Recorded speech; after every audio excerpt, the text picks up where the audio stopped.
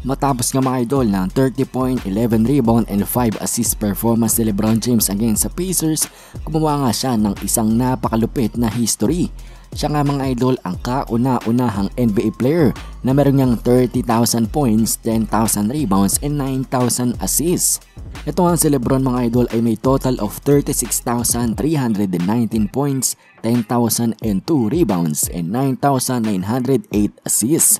Wala pa ngang nakakagawa niyan mga idol simula pa nung nag-umpisa ang NBA. Lebron James pa lang mga idol. Kaya nga talagang mas malupit ang history niyang ginawa ngayon. Hindi nga kagaya ng mga past achievements niya. Siguradong napaka-special nga neto kay Lebron mga idol. First ever in NBA history.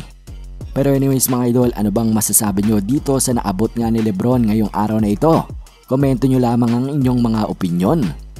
Sa ating susunod na balita na nga mga idol, patungkol nga ito sa Sacramento Kings at sa kanilang ibinabalak na offer para nga dito kay Ben Simmons at kay Tobias Harris, pati na rin kay Matisse Taibul.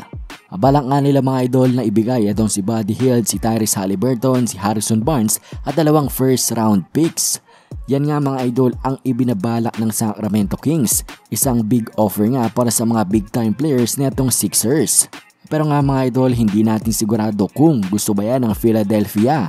Nung nakaraan ay tinanggihan nila itong si Aaron Fox at itong bagong kanilang in-offer ay hindi naman mas better offer. Mas madami nga lang picks.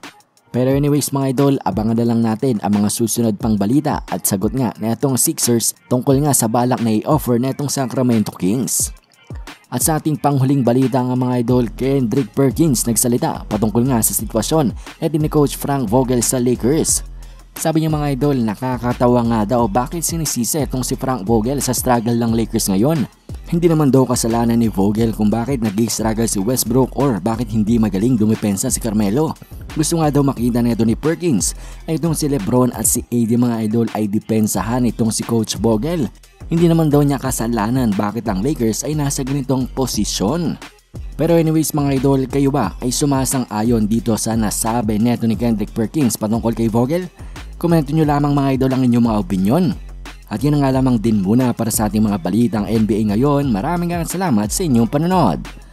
Bye!